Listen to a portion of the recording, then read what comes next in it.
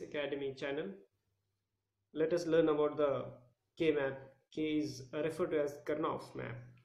So in this lecture we are going to see the three input variable K map.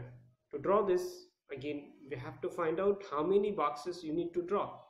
So for this we have again 2 raised to n which is nothing but 2 raised to 3 which is 8 boxes 4 rows okay in first row we have four columns.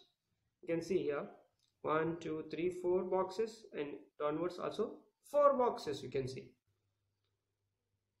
How to draw is we have to select such a number a term which should be deferred only in one letter. You can see 0 0 it is 0 1 this one is changing. Then again 0 1 it is 1 1 then again 1 1 it is 0 this variable is changing. This is 0 and this is 1 this is a this is bc now i'll show you how to write down the numbers. So these boxes represent the position of the k-map position of the truth table. This is 0 position 1 3 2 4 5 7 6 now enter the f. That is the output of the truth table.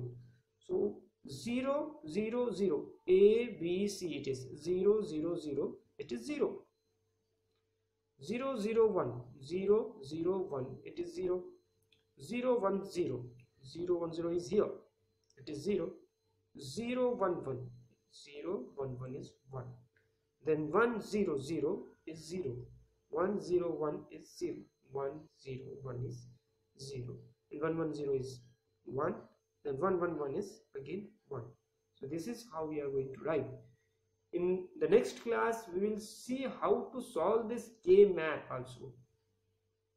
How to solve or how to minimize this k map by using different methods.